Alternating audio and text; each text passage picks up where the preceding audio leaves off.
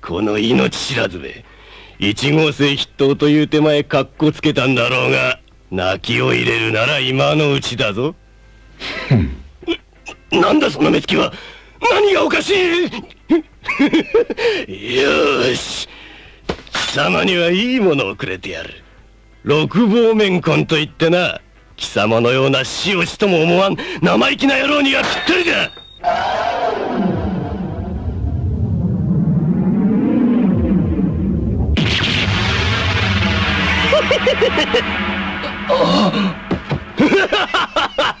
いい面になったな。さあどこからでもかかってこい。教官殿。あんたはまだ知らんだろうが俺の勝負は生きるか死ぬかそのどちらかしかない。なんだとは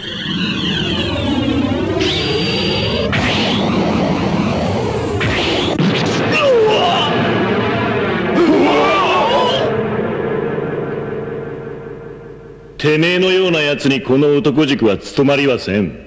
ふん、所詮この俺もな。